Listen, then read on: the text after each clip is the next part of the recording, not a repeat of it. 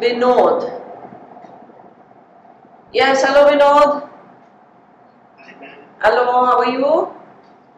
I'm fine, ma'am. Actually, I'm a good student last year, so last year we for crash course. Okay, okay Vinod. So what, how did it go last year? 324, ma'am. I got 324. in Wow, very nice. And, and unfortunately, physics and chemistry is like 324 is a good score in bio, but this time let us target 360 so that even if you know there are few less marks in physics and chemistry, our bio should give you a push. I'm sure that's why I'm, I'm here, ma'am. How? And I need to. I'm sure, I'm sure we will do. 324 is a good, good grade. Very good. Okay, ma'am.